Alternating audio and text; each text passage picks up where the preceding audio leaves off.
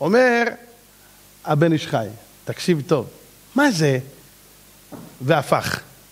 איך יכול להיות? הרי יש אחד מהקללות הנוראות שיש בתורה בר מינן, ואכלתם בשר בניכם ובשר בנותיכם יאכלו. אני בכוונה משנה את לשון הפסוק.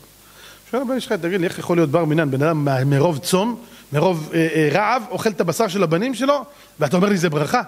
תקשיבו טוב, אומר הבן איש חי לעתיד לבוא, זמן המשיח, הוא מדבר עלינו, יהיה דור של הורים חילונים, לא מקיימים תורה, לא מצוות, והבנים שלהם יחזרו בתשובה. והאוכלים, וההורים אוכלים טרף בבית, והילד אומר לאימא שלו, אימא, אני לא אוכל אצלכם יותר. מה, אתה משוגע?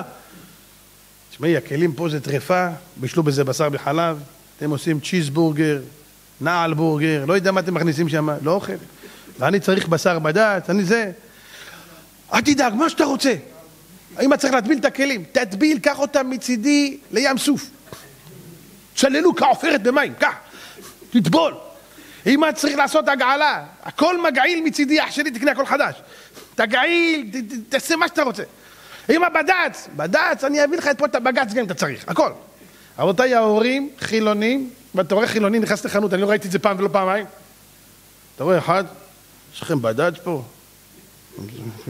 הוא אומר לו, תגיד לי, מה לך ולבד"ץ? אה, יש לי בן חזר בתשובה, מה אני אעשה? זה, זה מה שאנחנו אוכלים בבית, הוא לא אומר הבן שלי אוכל, זה מה שאנחנו אוכלים בבית, אתה יודע, אם לא, הוא לא, זה, לא, הוא לא זה, לא זה. אומר הבן איש עכשיו תבין, ואכלתם, איזה בשר אתם תאכלו? הבשר שהבן שלך אוכל, בד"ץ. הבן שלך יחזור בתשובה, אתה תאכל בד"ץ בגללו. אתה רואה חילוני, עם קעקוע על הקרחת. יש לך בד"ץ פה? אח בית, רק בית יוסף אח שלי. לא, זה אני לא נוגע. זה. מה, אתה רבנות? מה, אתה טמבל? אתה מסתכל על הקרחת שלו, אתה רואה נשר על הקרחת.